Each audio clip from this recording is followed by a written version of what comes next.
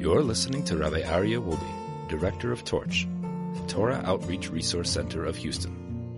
This is the Jewish Inspiration Podcast. Thank you, everybody. It's so wonderful to be back here. Welcome back to Mussar Masterclass. Tonight's topic, like every single week, is the most important topic we're going to discuss. So, why is it so important? We're talking about taking small steps. Why is it so important to take small steps? Because if you want anything to last, you need to take small steps. You want to jump? Jump. You'll fall harder. Take a small step and it'll be much easier for you to grow. So, spiritual growth is a step by step process and cannot be too large a step at a time. You take a large step, you're gonna fall. Guaranteed. So now we're going to talk about all we talked previous weeks about so many different traits. We talked about emuna. We talked about kindness, faith. We talked about judging people favorably. We talk, talked about emet, truth. We talked so many tra- traits. But now, okay, I want to internalize the traits. How am I going to succeed in internalizing the, those traits? Not by saying, I'm always going to judge people favorably from now on. That is not the way it's going to work. That you will not succeed that way. Neither will it work by saying, I'm going to try. Because by the time you finished the why part of the try, you forgot about what you're trying about. It's all over already. So what happens? How do we attain this tr- this these traits that we're talking about? How do we attain them and make them part of our repertoire? Make it part of who we are. Our sages tell us a very very important verse in Proverbs. King Solomon says, "Iveles tisalef darko yizaf libo." It is the foolishness of man who's going to jump and then when he doesn't succeed, he blames God. He says, God, it's all your fault. You see, if you would have allowed me to succeed, I would have succeeded. But now, because I fell, due to my own foolishness, it's your fault, God. It's a big mistake. Uh, I, will just give you a, quick example of, of making this very practical. Children, children you have a child who tries to learn how to play an instrument. You have a child who tries a, a math equation. You have a child who's trying to overcome any type of challenge of uh, a learning curve. And they're wondering, uh, my son, when he was learning how to play baseball, he was very frustrated that he wasn't able to play third base like Alex Bregman. He was getting frustrated that he wasn't playing as well as a Major League Baseball player. But you know what? That's not your job right now. Right now, you're eight years old. You need to learn how to catch like an eight year old. And then you'll improve a little bit and take a little step at a time. And you can't jump and try to be something that you're not. When we try to jump is we're trying to do something which is not natural to us. And that's a big mistake. So number one is don't jump. It's dangerous. And number two is that one small step for a man slow and steady works.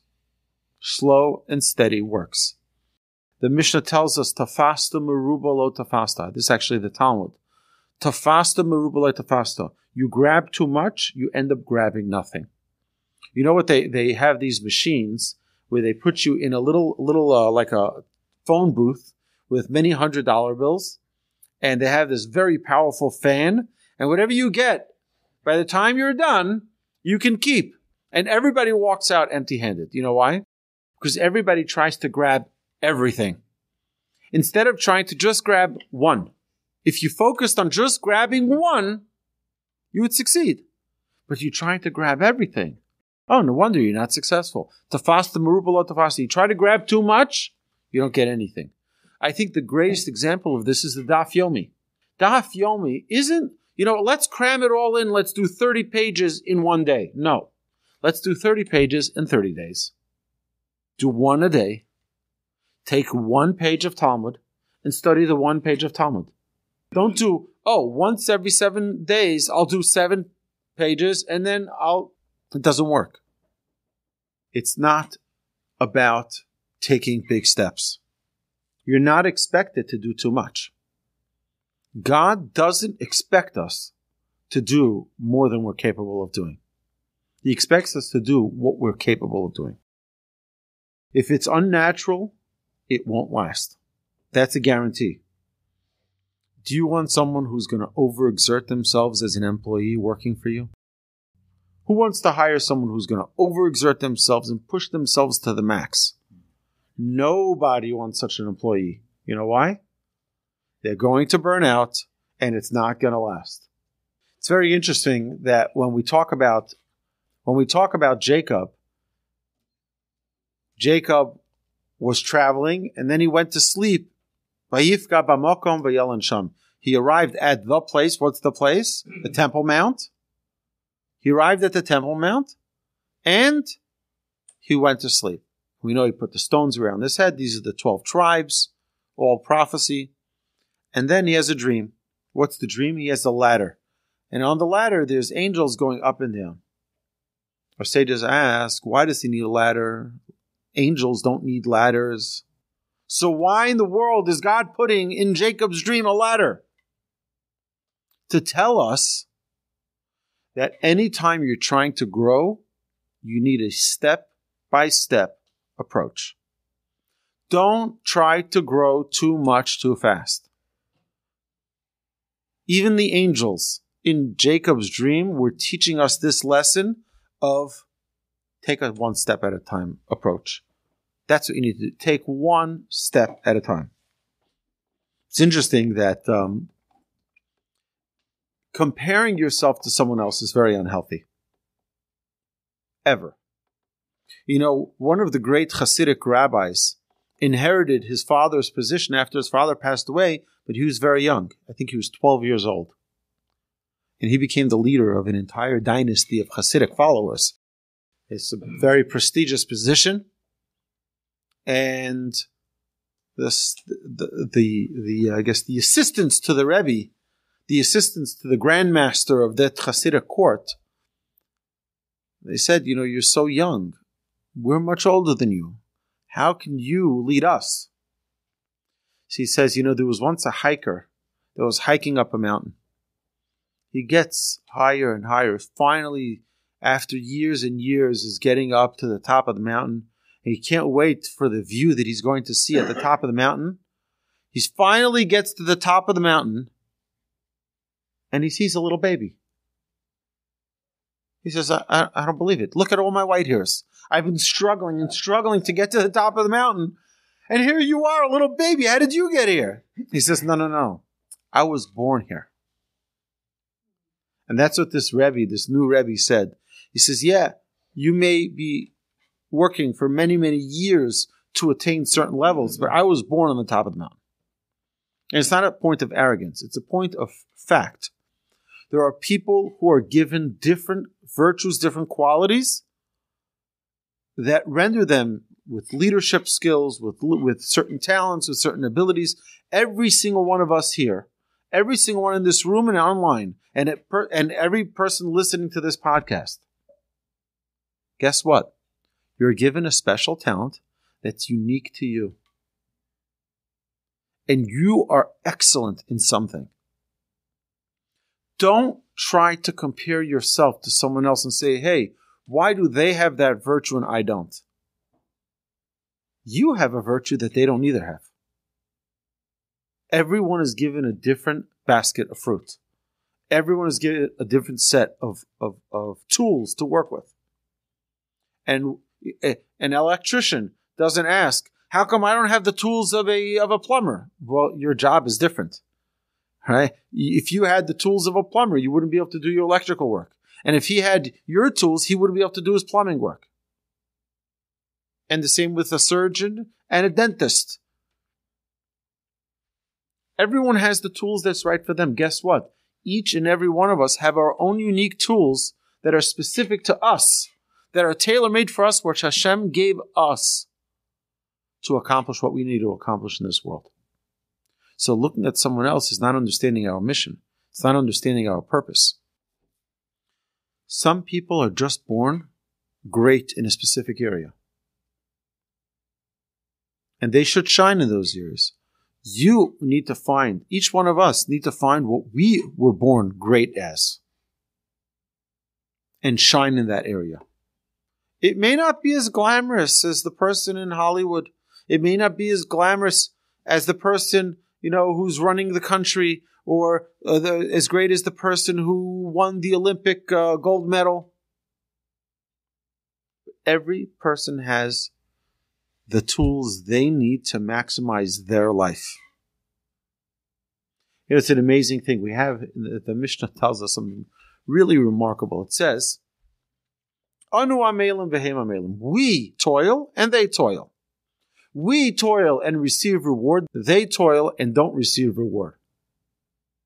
What do you mean they don't receive reward? What is that? What does this whole this whole Mishnah tell us? Sages tell us as follows.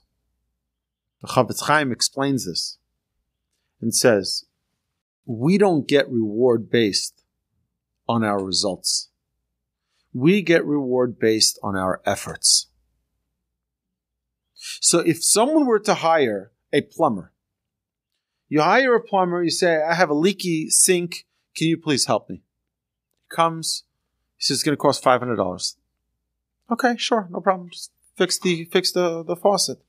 He comes, he fixes, he comes to, to fix the faucet. He gets under there, he takes everything out, makes a big mess in your kitchen, and you know, he's under the sink and he's toying around with things, takes it apart, puts it together, takes it apart. He says, Oh, I need to get a tool. I need to get something from uh, Home Depot. I'll be back in a few minutes. He goes to Home Depot, comes back an hour later. He's still trying, trying this, trying that. At the end of the day, it's still leaking. And he says, I tried everything I can do. Please make sure to pay your invoice, $500. Who's going to pay him?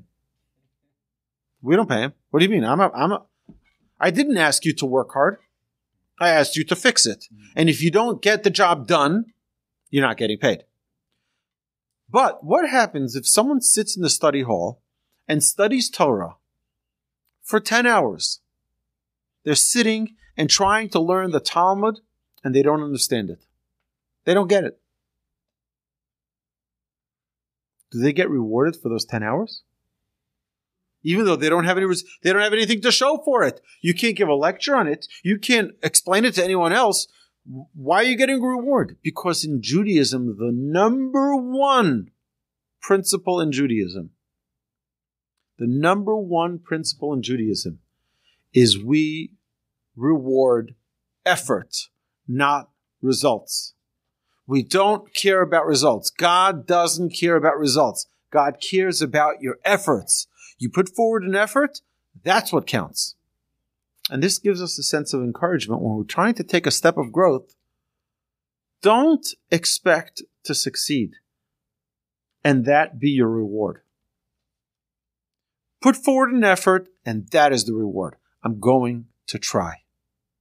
I'm going to put forward an effort. I'm going to try my best and that's it. And now you're not expected to do more. Now, we're expected to continue trying and continue trying. It says, Lo alecha hamlacha ligmor. This is one of my favorite mishnahs of all the, the ethics of our fathers.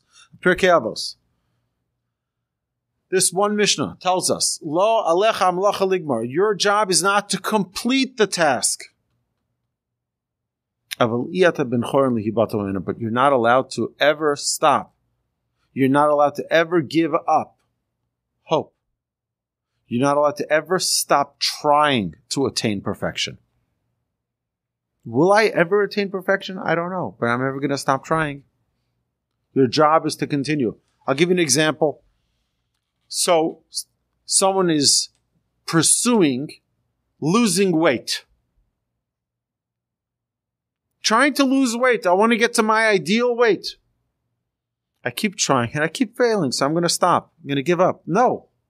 Your job is to never stop. Your job is not to succeed. Your job is to never stop trying to pursue perfection. That's our job. So a person can never say and should never say, it's un-Jewish for one to say, I tried, I failed, I'm done. Moshe, Moshe had every excuse in the world not to be the Jewish leader. He had every excuse in the book. God says, Your job is not to be a perfect leader. Your job is to never stop trying. That's your job. So just remember that buildings are not built in one day. Buildings are built one brick at a time.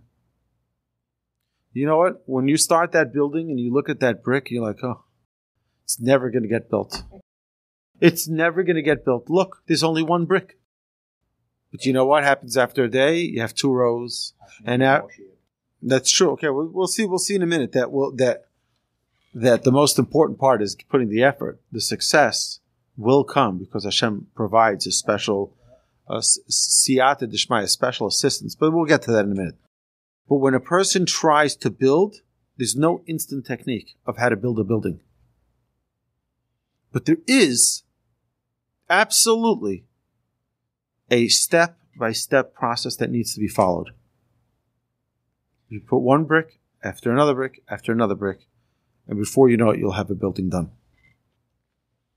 So, the Talmud says that when a person performs a mitzvah, it might appear to be something which is completely insignificant in his own eyes. Give me an example lighting Shabbos candles. Hey, how important is it? Okay, it's a simple, you just light candles. So if I don't do it, what's the big deal? Our sages tell us, in the eyes of God, however, it is something very great because the action of this mitzvah that is done on earth awakens spiritual roots in heaven. Every single physical action that we do in this world awakens up powers in the upper worlds. And we must know that its spirituality in heaven knows no bounds nor limits. Yes, so while in this world I'm saying, huh, there's no results. Bottom line, it's not working for me. I keep trying, I keep failing. You know what you've created up in heaven? Every time you tried, every time you tried performing that mitzvah, you've created worlds in the heavens. That is why it says, if a man sanctifies himself a little, they sanctify him a lot. Why? Because in this world it seems a little. Ah, I tried, it didn't work. In the, in the, in the, in the heavens, you created worlds. It's something which is so important. The Talmud says another amazing thing. It says that a person should always live their life as if it's on the scales of balance, the scales of life. So imagine this. I do one mitzvah, what happens? I'm on that scale. It's even, even score. Now I do one mitzvah, one. Not a lot. One mitzvah, what happens? I already weighed it down to the mitzvah side. One mitzvah. So if a person is contemplating one second, should I do this mitzvah? Should I not do this mitzvah? Right? I've heard many times, by the way, very, very, very important thing to discuss. I don't know why we, we, we haven't discussed this in a long time. You know, that there's several major misconceptions that Jews have about Judaism.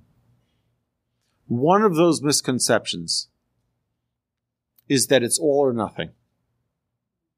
I've heard people tell me, Rabbi, it's so hypocritical for me to not do something on Shabbos or to not do this. Rabbi, I eat pork. I mean, who am I kidding? I'm trying to be all holy about this thing, but there I'm living like that. It's hypocritical. I can't do this, Rabbi. Guess what? In Judaism, it's not all or nothing. It's not all or nothing. Every single step counts. And you have no idea, you have no idea how changing a person's, a single change in a person's life can transform their entire life. That one change. I'll give you an example. My mother in law, I said the story before, but I love the story so much. My mother in law had a study partner that she learned with every single week. She would learn together in Partners in Torah. Those of you who don't know, Partners in Torah is an excellent organization that partners up people to learn together. You can learn any topic that you want. You can call them up today, tomorrow, 1 800 study 42 4, the number 4, the number 2, and they will partner you up to learn with someone.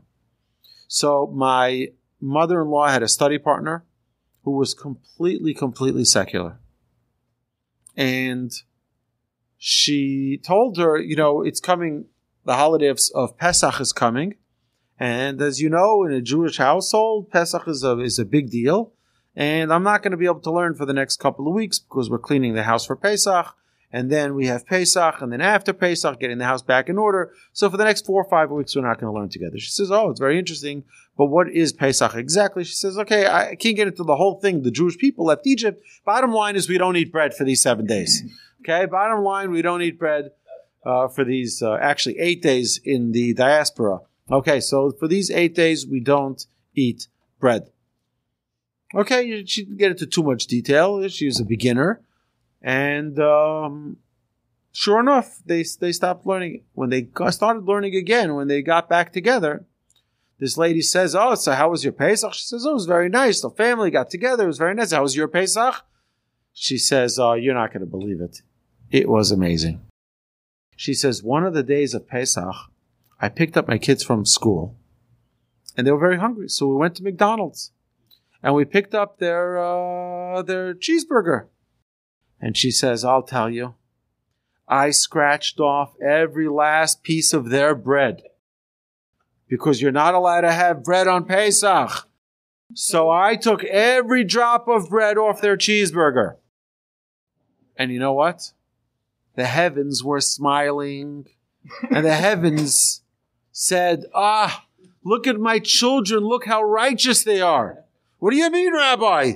She was eating a cheeseburger and you're telling me the heavens were smiling? Yes, because that was her step. That was her step. And not to spoil the story. And not to uh, be, what do you call it when you take away the, the, the punchline from the thing? Spoiler alert. Spoiler alert, okay? Yeah, she became religious with her entire family. And who knows if it wasn't the merit of that bread that she scratched off their cheeseburger. That commitment of one mitzvah can change a person's life.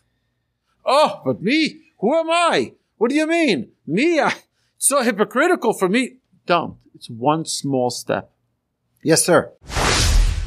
Okay, I'll, tell, I'll, give, I'll tell you what he's saying. What he's saying is very nice, Rabbi. When, in Judaism, that might work, but that doesn't work when you're selling cars for Toyota right? When they say, "Hey, go sell some cars," and you go and you're like, "I spoke, I spoke to 200 people today, and how many cars did you sell? Zero. What's your answer to that? The answer to that is Hashem will have have to help you succeed in a different area, because that's the way it works. That's the way it does work. But some people are highly successful in that area. That's true, and Hashem succeeds their way, and and there there are many many people who won't succeed in that job. And if Hashem wants you to succeed, you can succeed in selling. Ah, I met a guy. I met a guy a couple of weeks ago. This individual. It's interesting. It's like never give up hope. This is a guy I was introduced to 12 years ago. Someone gave me his information. He said, call the guy up. I think he's interested in Judaism. Get connected with him. I called him up. He says, listen to me, Rabbi. Okay? Don't ever call me again. Okay? I don't want to talk to you. I'm not interested in Judaism. Leave me alone. Lose my number. Forget my name. Goodbye. Just two weeks ago, a guy sends me an email. He says, Oh, I have a guy I do some business with. He says, Why don't you give him a call? I think he might be interested. I, and I, I remember the name. I'm like, I, I remember this name. I remember this name. I searched my records. I'm like, do not call him is what it says on the notes, right? I'm like, but you know what? I'm going to give it a shot because we don't give up on anyone, right? That's what Hashem tells us to do. You got to give it a shot, give it a try. I call him up and he's like, Hey, Rabbi, when are you coming over? I said, I'll be there tomorrow. What time is good for you? And we scheduled a time and I went to meet with him. What does the guy do? You think, what does the guy do? For a livelihood, I met him in his office he buys junk. I'm talking about all junk.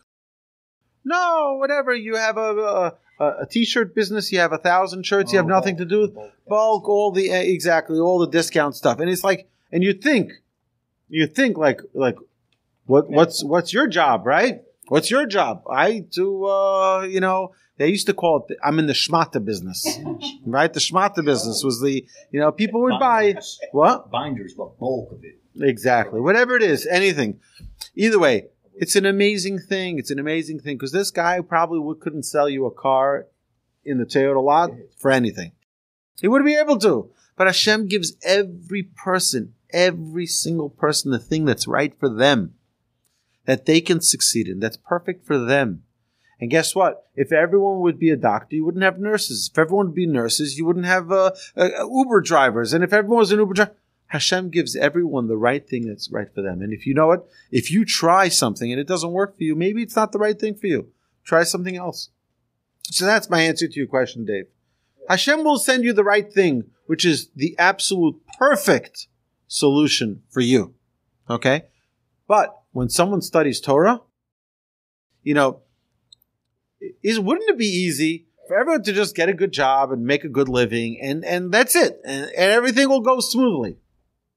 No, because then you're not going to be tested with your emunah, and then you're not going to be tested with your character. How are you going to become great in your overcoming of anger? Let's say, if you're never tested with your anger, if everything just worked as you wanted it. How would a person work on their arrogance if they didn't get married? You need a wife to put you into place. Okay. Seems like everybody here agrees. I want to I want to read to you a pasuk, a, a verse that I'm just being rem- I'm re- reminded of right now in Vayelech. Vayelech is in it's the last day that Moshe's Moshe's living, and he's giving his parting words to the Jewish people. He says, "Listen to the voice of Hashem, follow His mitzvahs, His commandments, and His laws." that are written in this Torah. When you shall return to Hashem your God with all your heart and with all your soul. Ki. For. This commandment that I command you today, which is to have repentance, to connect to the Almighty, is not hidden from you and it is not distant. It is not in the heaven for you to say, Who can ascend to the heaven for us and take it for us? so that we can listen to it and perform it. I can I'm not going to the heavens, so who can go up to the heavens to get the Torah for us? Or whatever this mitzvah is. Nor is it across the sea for you to say, who can cross to the other side of the sea for us and take it for us so that we can listen to it and perform it? Must be really great, right? So distant. It's so heavenly. It's so, it's insurmountable. We can't, we can't attain it. Rather, the matter is near to you. In your mouth and in your heart to perform it. All you need is to have the will. So we discussed last week about willpower, two weeks ago. We discussed willpower. Guess what? All we need is the willpower, the desire in our heart and our mouth, like we mentioned last uh, two weeks ago every word that we say, we mentioned last uh, two weeks ago, we mentioned that every word that a person says creates an angel. Creates an angel. If you really desire something and you talk about it, it's in your mouth, it's in your heart, you desire it, and you speak it out, you know what'll happen? You're creating those angels that'll help you succeed in it. So anything that you want to accomplish, you want to lose weight, talk it out say, Hashem, I need your help. But in a practical level, I want to turn your attention for a minute to a very, very important book. It's called Atomic Habits. I love this book. Okay, Atomic Habits. So I, w- I want to give you an example. I want to give you an example of how we can. So his, his theory, and I agree with his theory, it's actually sourced in what our sages write when they talk about change and they should take small steps. Here's the challenge. Who is the police looking for? My daughter called me today. She's driving in New York and she said, you know, I know Texas. I know what the highway, you know, rules are. You know, it's like you have 65 speed limit. You drive 75, they're not stopping you in Houston. But in New York, you know, it's 55 speed limit and she's driving, you know, she's trying to figure out what, what are they going to, so I said, in New York, if you drive two miles over the speed limit, they're going to stop you. Okay. It's New York and they have cameras and they'll take pictures and mail it to you and it's like, it's a mess. So who are they looking for in Texas, right? They're not looking for the guy who's going two, three miles over the speed limit. They're looking for the big shot who's driving 85 down the down the through you know down the the speedway, right? It's you know 65. He's going 85, flying by everyone. That's the guy they're going to get. They're looking for the big fish. The guy who goes two, three miles over the speed limit. Leave him alone. The Yetzer Hara is the same thing. The Yetzer Hara says, ah, I don't care about the guy who's just making small changes in his life. Show me the guy who wants to change everything. He's going to change his diet overnight. He's going to lose weight overnight. Everything overnight. And these are the guys that the Yetzer Hara says, this is the guy I'm looking for. Let me, let me chop him up. So our sages tell us, in order, in order to make change in your life, you know what you need to do? Very important. Don't jump. Don't jump. Take it easy and take a small step at a time. So the, let's give an example. I have over here a few examples from that book that I share that I want to share with everyone. So imagine you want to start exercising so that you can lose weight. So the first thing you need to do, and this is I I, I think this is a very important process. The first thing we need, phase number one, I do this all the time, is change into your workout clothes. Phase number one, change into your workout clothes. You know what? You may not go working out. You may not end up working out. Change into your workout clothes. You know phase number two? Phase number two is leave your home. Get out. Get outside. Even if you take a walk around the block and it's a slow walk, step number one. Step number two. Step number one, change your clothes, get into workout clothes. Step, uh, we're not talking about losing weight yet. We're not talking about getting into, you know, running the marathon. Just change your clothes. Get into your workout clothes. Put on your sneakers. Small step. Small, small, small, small step.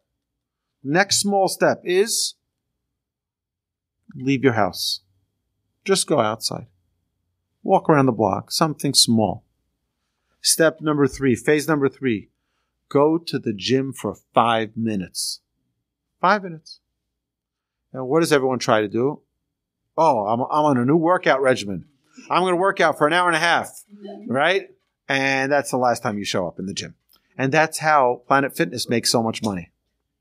It's for all of those people who say New Year's Eve, I'm going to lose 50 pounds this year. I want to look my best. It's hard. You know why it's hard? Because we're thinking at the end zone. We think it's like imagine this. I'll tell you why Tom Brady's the best quarterback in football history. You know why? I don't know why, but I'm just guessing. Because he doesn't try to make big plays. Let's get our yardage that we need to get our first down.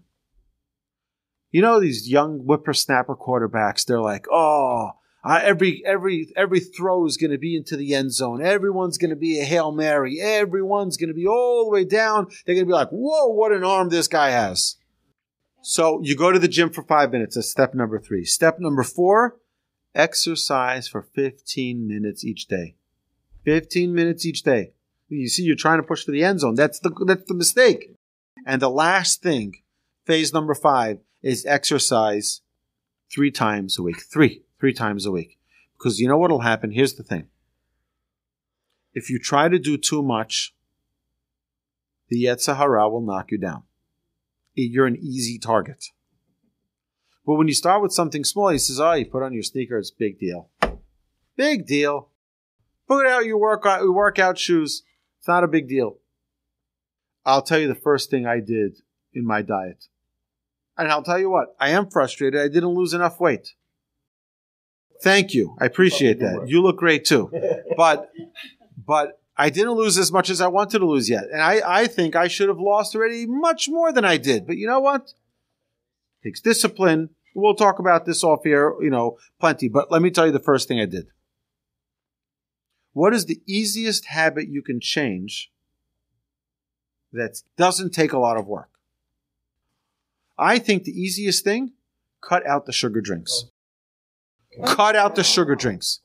Okay? It's something small. It's not a big deal. Cut them all out. So you know what I do? I stop buying them. I stop buying them. I always have cold water in my house. I always have cold water bottles in every fridge. I want cold water bottles. So that way I'm not tempted to go for the cold can of Coke. That's so refreshing. I go for the cold water bottle. Let's talk about a, different habit that we want to change. You want to go to sleep earlier. Why? So that you can wake up earlier. Okay, that's very important. So how do we do that? So set yourself a time. Would that time be, let's say 10 o'clock, random time, 10 o'clock, 10.30, whatever, whatever time it works for you. Phase one, be home by that time. Be home by that time. Phase two. Right, but but right, right, but the idea is the idea the idea is the idea is is you want to take a step, a step. That time is your is your uh, is your framework that you're working with. That time. So whatever time you pick, let's say ten o'clock. So ten o'clock, you're home. Okay. So you do that for a couple of weeks. You're home by ten. The next step would be, let's say, turn off all your devices by 10 o'clock. So now I'm home already by 10. I'm going to turn off my devices by 10. The next would be to be in bed by 10. Now, we're not saying it. This could be three months out. You're still not going to sleep at 10 o'clock. But you built new habits that are easy habits and you didn't rush into them. Because what people like to do is, you know what? I'm going to sleep at 9 o'clock. I'm starting a new schedule. And that lasts one night. First, be home at 10 o'clock every night. Then, one step at a time, okay? Then, wake up eight hours later. So you wake up at 6 a.m. And then, phase five would be turn the lights off by 10 o'clock. So what you do is you slowly, slowly integrate new easy habits. But there's something more important something much more important is if you're able to attach your change with something that already exists, it's the easiest. So let's say our dear friend here is wants to deal with weight loss. Ah, how do I do it? Well, here's the one thing that you do every single day. You eat. You're doing that every day. So if you're already eating, you can attach a good habit to it. Okay, because what do we do? We do the habit that is most comfortable for us or that's most enjoyable for us. But what's if I can change that habit a teeny little bit? I change that habit a teeny little bit. And now, instead of me just eating my lunch, I'm going to eat a better lunch. I'm going to eat my lunch, but I'm going to eat a healthier lunch. That doesn't mean that I'm starting with salads. It doesn't mean that, but you know what? I'm going to and all it takes is changing a little habit to something that already exists. It's already there. So I, I think I, I, think it's it's something something that is small steps.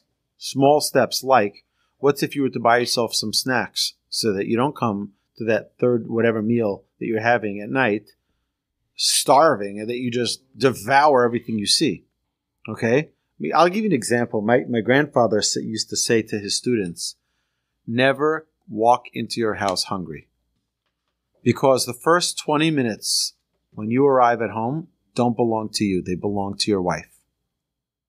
If you come home from a hard day at work, you want to come home and be treated like a king and sit by the table and have a delicious steak dinner. But guess what? You got 14 kids hanging from the chandeliers. and they're killing each other, fighting with each other. And there's no dinner in sight. And there's a mother worn out, tired. First 20 minutes belong to her. But I'm starving. Well, don't come home starving. Eat, a, eat an apple on the way home. Eat something before you knock into that, knock on that door and enter into your home. Just a reminder, the halacha says that before you walk into your own home, you have to knock on the door. It's my house. Yes. No surprises, except for birthdays. So, the, how long does each phase take? That's also something. It, it's it. But here's the thing. One second. One second. The issue is, I think the biggest issue is, is that we, you and I, okay, who are facing the same challenge, and I mm-hmm. identify with your challenge wholeheartedly, is that we both think about it. In 60 days, I'll lose all my weight. In 80 days, I'll lose all my weight. And the thing is, it's not, doesn't go like that. It's changing the habits of how we eat slowly, consist, consistently, so that not that I lose the weight, is that I become more healthy. That's the goal. How do I become more healthy? In the process, we'll also lose weight. So it's not about, oh, I'm just going to drop my weight. I'm going to go from 250 pounds to 200 pounds in three months. And it's not going to happen in three months. I'm sorry. Not going to happen. And those who lose it fast gain it fast. But if I can change and say, you know what, I'm going to introduce something healthy into my meal. I'll take something that's unhealthy out of my meal. No, I'm not saying you go from a big piece of chocolate cake to a broccoli salad. I'm, what I'm saying is have your chocolate cake, but take a much smaller piece of the chocolate cake. I mean, you know, the Yetzer Hara, the way he works is when you appease him a little bit, he lets go. He says, Oh, I got him. I got him. No, you didn't get me. I gave, like today, I, I tried to trick my Yetzer Hara, right? I had a little barbecue potato chips. Don't say, right? Don't tell anyone. And that's against my diet. I don't eat that stuff. But you know what? The bottom line is that every person is different and every person has to find the thing that works for them. Okay, one second. So I say introduce something healthy to your day. Okay? It's a long process. We don't change overnight. And I think weight loss is the best example. It's the best example because it's something that every single human being is conscientious of if they want to stay healthy and fit.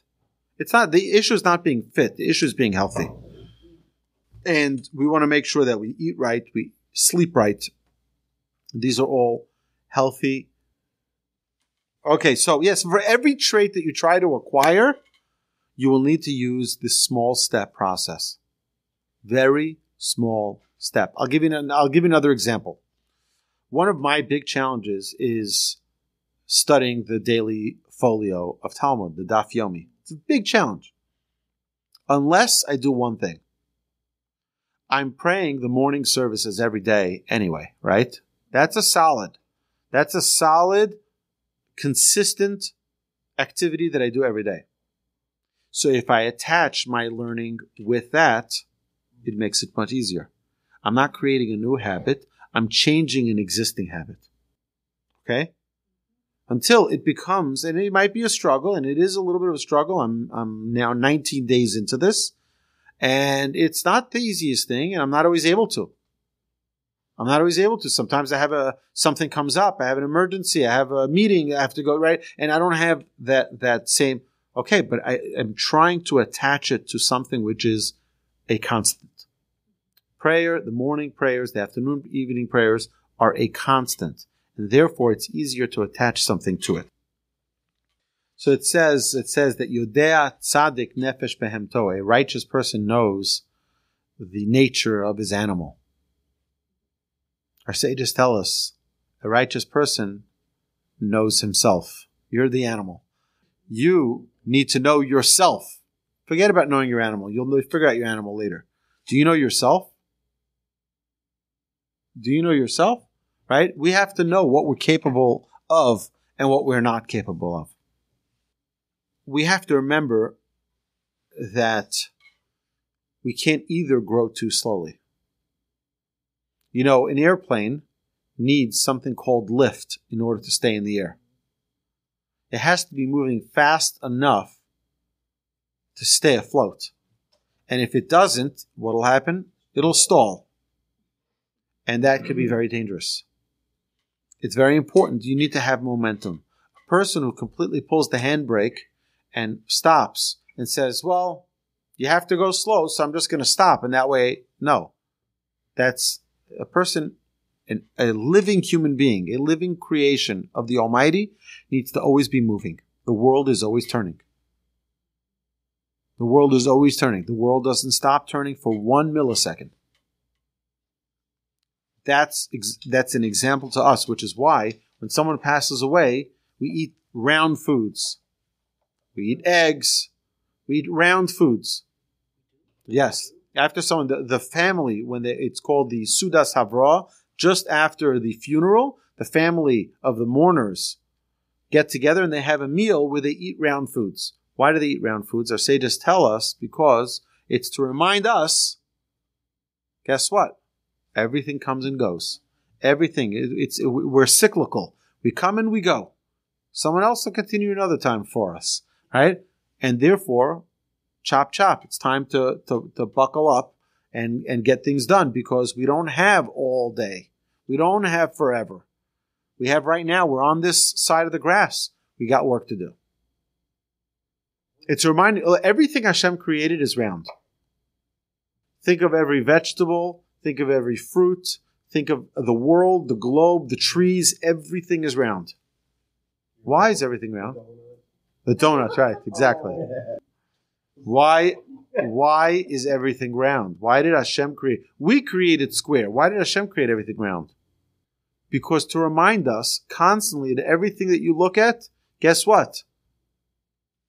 You'll be one time finishing that circle and life is over.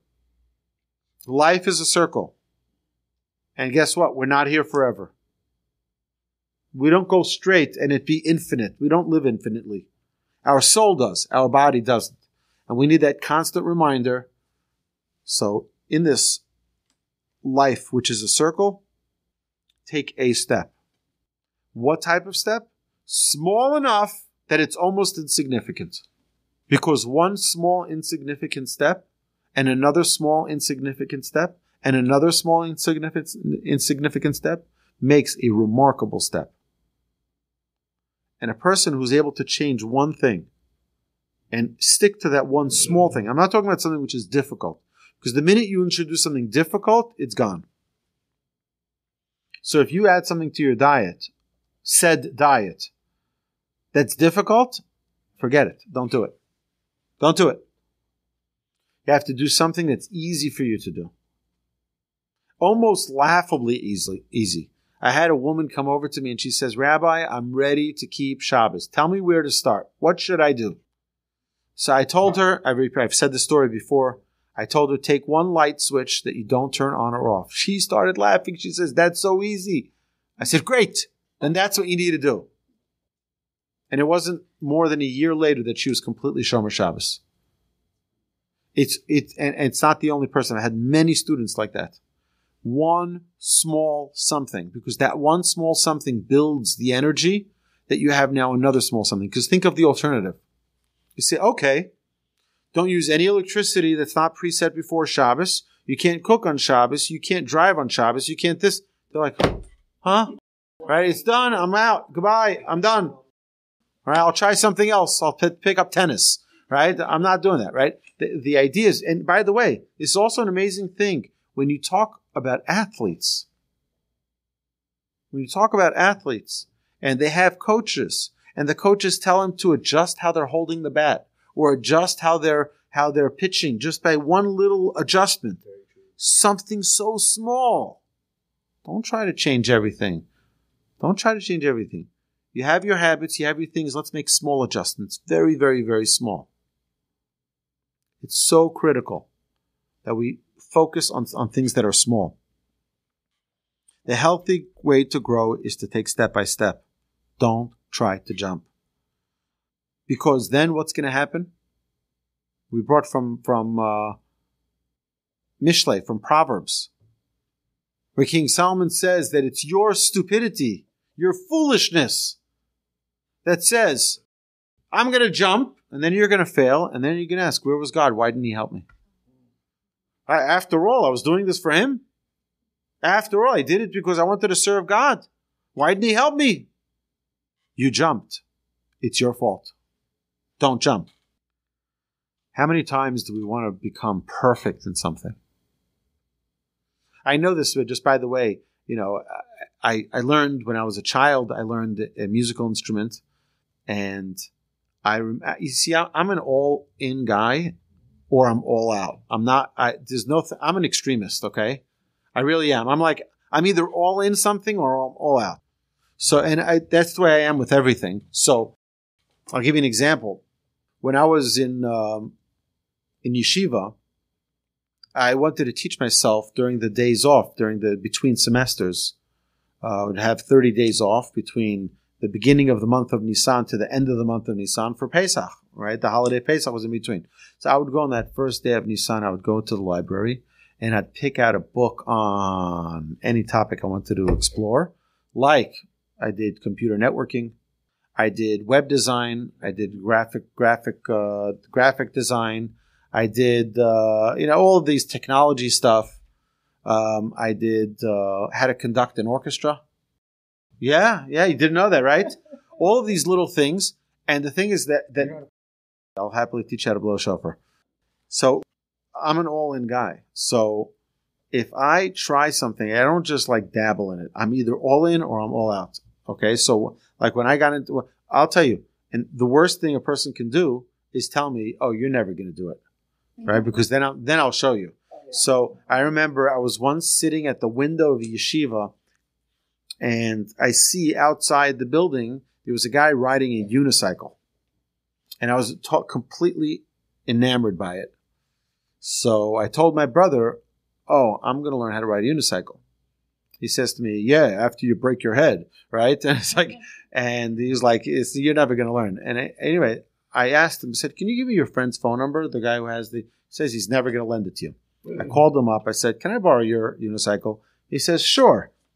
I, and that day, I spent six to eight hours nonstop, getting up, falling down, getting up, falling down, getting up, falling down, like the entire day, up and down, until the end of that day. I did 30 feet on the unicycle, and the next day, I rode a mile. And I brought him back his unicycle. He's like, oh, "You broke your legs, you broke your head. What did you do?" I said, "No, no, no I learned how to ride it." He says, "What? In one day?" I'm like, "Yes, in one day." Like, you know, I, I wasn't going to go to sleep.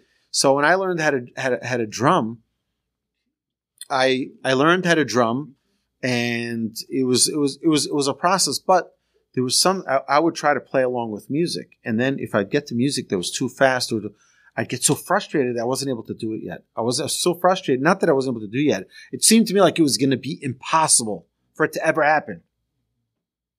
And I kept trying and trying and trying and trying and trying. And I was so frustrated. I remember there were times I'd just take the sticks and just like, I'm done. Okay. But you know what? One day, out of out of no place, I suddenly was able to do it. Because you try and you try and you try, and Hashem succeeds your way if He wants you to succeed. And if He doesn't want you to succeed, you're not going to succeed a thousand times trying. And that's the bottom line: is that our job is to never stop trying. That's our job. I don't know how to con- conduct an orchestra anymore, but I once did.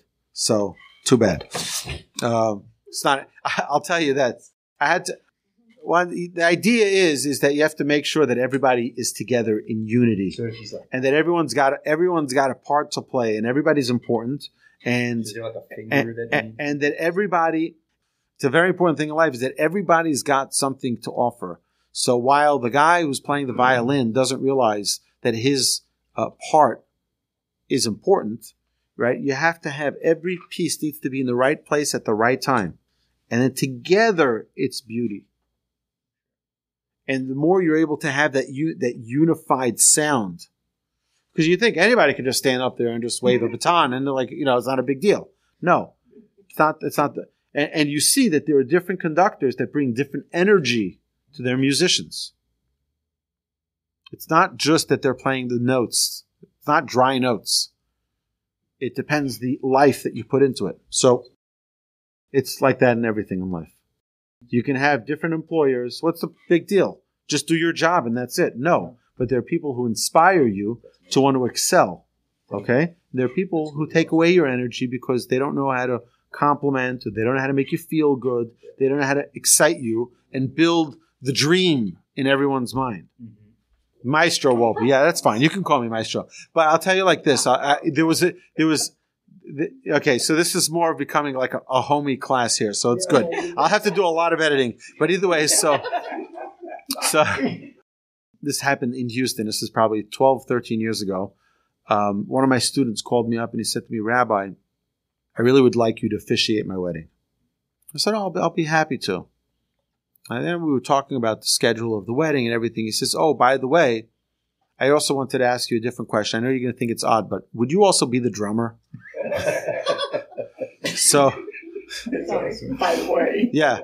So I called my rabbi and I'm like, I think I might be more excited about doing the drumming than being the rabbi. So my rabbi said, it's time, it's time to hang up that hat. So, uh, you know, prior to that, I did, I did, I did many concerts and I did weddings and I did things like that. But you know what?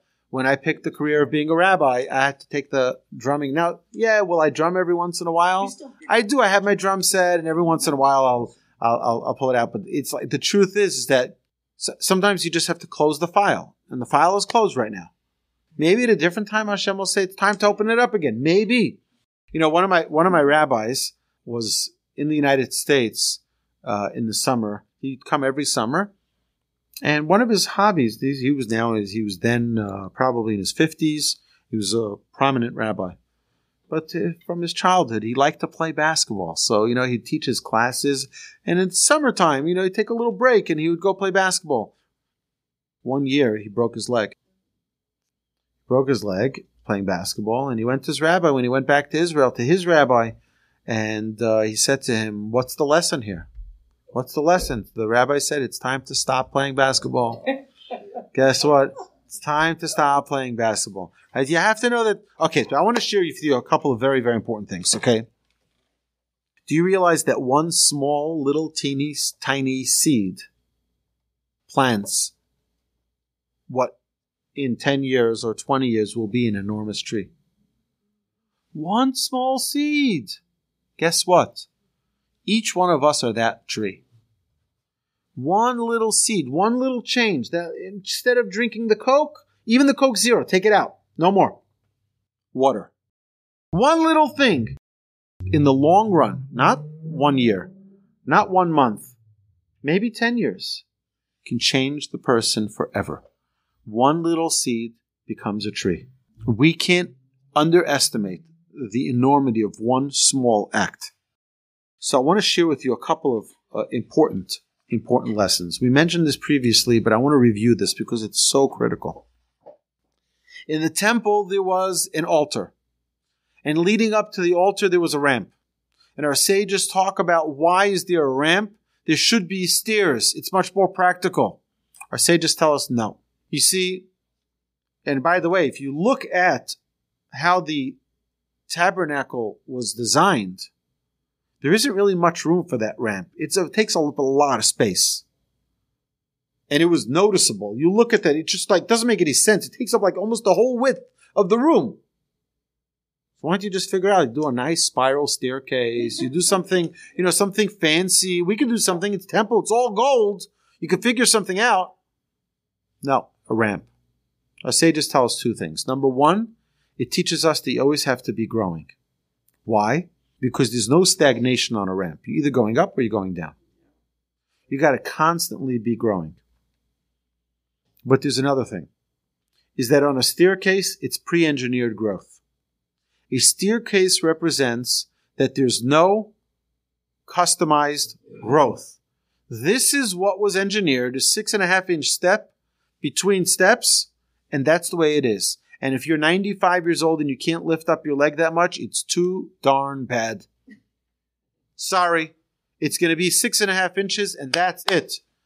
And guess what? A little baby is just learning how to walk, can't put lift up their leg either, six and a half inches. And a teenage child, adolescent, they can't do one step either. They jump 14 steps at a time. Well, our sages tell us pre engineered growth is not the Jewish way. We're going to have a ramp, and everybody can take their own size step. Someone who can take a small step, take a small step. Someone who can take a large step, take a large step. Take your own size step. There's no pre engineered growth in Judaism. That's number one. Very important, fundamental principle. The next important thing is that my grandfather, during the Yom Kippur War, was asked to travel to Egypt to speak to a bunch of officers and soldiers and generals and so they flew him on a plane to Egypt and my grandfather looks out the window and he sees that they're like a hundred feet above the ground. And he was very concerned and he asks one of the people, he says, is there any difficulty, any problems with our engines? They said, no, there's nothing wrong with the engines. He said, so why are we flying so low? He said, oh, oh no, we're flying below the radar because the radar, Egyptian radars are still working and the radars will detect us if we fly too high and therefore we're flying below the radar so they don't detect us. Grandfather said, You know what the radar is? The radar is the Yetzer Hara. You know what we need to do? We're that airplane. We need to fly below the radar. When we try to grow, we need to take microscopic steps. Micro steps, small steps, so you don't wake up the Yetzer Hara. When the Yetzer Hara is looking, who's doing something big? you don't show up on the on, on the radar. You're flying below the radar. You take something small, something which is so tiny it'll say, eh, eh, something too small. It's too small for me to bother with it. So what's the question everyone asks me? Okay, so if today I'm here, it's really below the radar, and tomorrow I take something else and that's below the radar, and then the next day I take something that's below the radar, eventually I'll be above the radar and then it'll shoot me down. So that's not the way growth works. What growth, proper growth, is that you take something really small and then it becomes part of the essence of who you are. You don't build on top of it. No, it becomes part of who you are. So what you do is you raise the earth. Like it says about Abraham. Vayakom sdeh Ephron. Abraham bought the field from Ephron. What happened? Abraham was the highest, the most righteous, the holiest Jew, the holiest person. When he purchased it, the land got elevated. Yeah. The land got elevated because he was elevated. What happens is, what does that mean? It means it responded to a whole new spiritual level. When we change, we're raising the gra- the earth beneath us becomes more elevated the whole surrounding, everything we do is more elevated. So now that radar just got elevated too with it. And now, when you add something and it becomes concretized, it becomes part of who you are, guess what? Now the radar just got elevated more. You keep on raising the surface of, of what don't raise you're not build you're not putting one on top of another on top of another and then eventually get burnt down. No. Take something small, make it part of you. Take something small again, make it part of you. Take something small, make it part of you. Don't try to take on too much. So one of our participants here, Eliana, is sharing that she imagines that she has the Yetzer Hara sleeping right on her shoulder. And she takes such a small change in her life that it doesn't wake him up. You know, just something so small you won't even notice that you're doing it. And I think it's a good, it's a, it's a very, very, very, thank you for that. When it's no more work for you when it's so easy that you don't even have to think twice to take the water instead of the the the, the Coke Zero, at that point, when it's not even a difficult thing anymore, because every person is different. For one person, it might be just two weeks and I'm good to go. It's easy. It's not that wasn't a difficult thing. Now there are some things that will be easy for you and difficult for someone else. But everyone is built on their habits, on their things that they have been uh, cultured by their own intuitions uh, to accept. But it's a very interesting thing. What did Rabbi Akiva teach us? One small drop and another small drop and another small drop. It transforms. And that's really the way we're trying to change in our lives. By one small drop at a time. With consistency, that's where your success is. One small step at a time. Oh, we're way over time. Okay. I want to just mention there's so many other, I have so many notes, so many more notes here. Okay. It says, Im If you go in my ways of my Torah. And then the, the, the, the, the, the portion of, of Bichukotai go on to say all the blessings and the curses. But do you know the first, the most important part of the whole thing?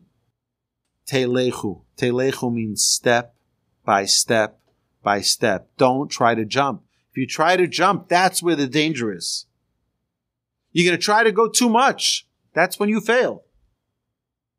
So if you take a if you take a wall and you drill a little hole in the wall, right? You think it's like so small, but then put a flashlight in it. Put a flashlight against it and see what it projects through the wall. It projects something so much greater. What we're trying to do is make that little hole. Put the light to it. And even though it looks so small, right, a little dime sized hole, it projects an enormous amount of light. And you know what? Eventually that dime becomes a quarter size. And eventually it becomes a dollar size. And eventually it keeps on growing and growing. We just want to make a teeny little hole. Because that little hole eventually will become something really, really great. Change is organic when we look inside, not when we look outside. Got to look inside. Don't try to compare yourself and don't go on to uh, uh, all the shows that people lost 385 pounds in 20 minutes, right? Don't, don't buy it. Don't, don't believe it. And don't buy those medicines that they say you'll wake up in the morning skinny. Okay. It doesn't work because that's against the nature of this world. The world doesn't exist by instant change. It takes a long time for us to transform who it is that we are. In the, in the Omer, we see, we have this concept of counting a one step at a time. Count one day, another day, another day. Eventually you get to the 49th day and you, you concluded the whole thing. But the idea again is reminding us constantly one step process. Intention is everything. Intention to do a mitzvah is as if you've observed the mitzvah. If a person wants it, a person desires it, it's as if you fulfilled that mitzvah. Yeah, you may not have succeeded, but you really wanted it. Eventually you'll get it.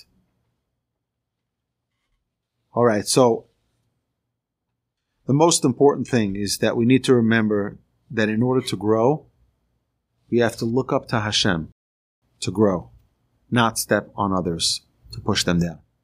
We never grow by pushing others down. You see something great, you see a good habit that someone has, you could be jealous of that, but don't try to take it 100% and make it yours. You know why? Because that's not you. And as much as we think, oh, it's so simple, you don't know who they are. I'll just share with you one last thing uh, tonight from the Gaon of Vilna on Proverbs. He says, No one knows you better than yourself. Says, be very careful of accepting criticism from another person. You're accepting criticism from another person, guess what? They might be criticizing you because it was something that was easy for them to attain. Why do you get so angry? You should work on your anger. It could be that they were able to work on their anger very easily because anger was a two by them. But you, anger is a 10. It's a lot of work, right? So yes, you should take some uh, mental notice of that uh, statement, but nobody should tell you your growth. We have to get to know ourselves. And God willing, when we resume this series, the Mussar Masterclass, I look forward. We're going to start focusing on some of the negative traits. But my dear friends, I wish you all, each and every one of us, myself included, everyone who hears this on podcast, those of you who are here live at the center, those of you who are watching on, on Zoom, Hashem should bless us all to succeed in our growth in a natural and organic way that is meaningful and hopefully that we should feel and taste the deliciousness of that success. It's not easy. It's not always, you know, boom, I got it and I made that change. Sometimes it can be very difficult. Sometimes we're going to fall and fall and fall like the righteous do. Sheva Yipol Tzadik Vakam tells us the King Solomon.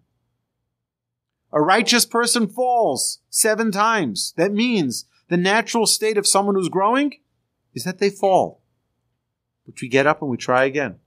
And we get up and we try again. We say, oh, I blew it. Instead of having my water, I ended up drinking a, a regular Coke. Can't believe it. You know what?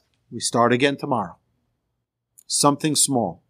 My dear friends, it's been an awesome privilege. It really has been this journey of the Mussar Masterclass, and I look forward to continuing it. But my dear friends, have a magnificent evening. Drive safely. And I look forward to continuing our learning together. You've been listening to the Jewish Inspiration Podcast, a Torch production. Become a supporter at torchweb.org because your assistance enables more Torah learning around the globe. To find more lessons offered by Torch, please visit torchpodcasts.com.